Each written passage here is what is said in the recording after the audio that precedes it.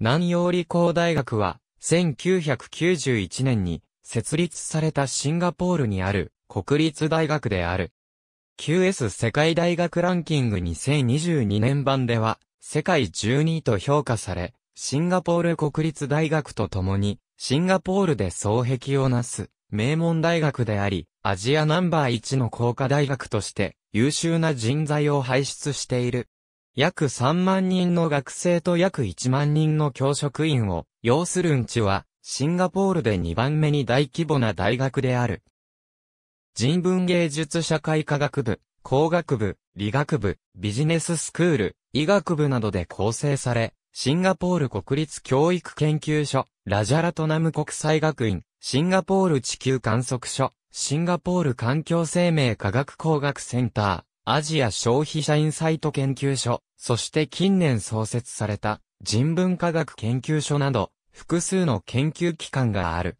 NTU のメインキャンパスの敷地面積は200ヘクタールと広大であり、シンガポール最大のキャンパスである。ナンヤンビジネススクールナンヤンビジネススクールは、シンガポール最大のビジネススクールで、常時約7000人の学部生、大学院生が所属する。フィナンシャルタイムズによれば、シンガポールでは、首位、アジア太平洋地域では、第3位のビジネススクールである。エントランス学部では、小学や会計学をはじめ、様々な二重学位プログラムが提供されており、3年半から4年程度で、2つの学位を取得可能である。修士課程でも、経営学、金融工学、マーケティングに加えて二重学位プログラムが提供されており、それぞれのコースに対し博士課程も設置されている。さらに近年新たに導入された学士、修士の統合プログラムは4年で終了することができる。授業風景ハスは4つの学校で構成されている。工学カレッジは、ンチュ最大の学校である。世界最大のエンジニアリングカレッジであると言われており、1万500人以上の学部生と3500人の院生が所属している。工学カレッジは、テクノロジーとイノベーションに焦点を当てた6つの学校で構成されている。このカレッジでは、広い学問領域にわたって、豊富なコースが提供されている。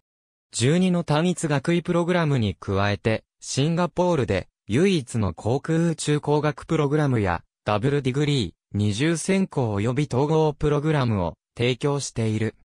科学カレッジは3つの学部で構成され、約150人の教員、340人の研究スタッフ、110人のスタッフ、4000人の学部生及び750人の大学院生が所属している。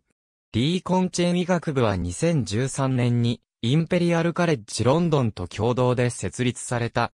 2013年のオープンに先立ち、学校はリー財団からの1億5000万シンガポールドルを含む4億シンガポールドルの記録的な寄付を受けている。学校の主な臨床パートナーはナショナルヘルスケアグループである。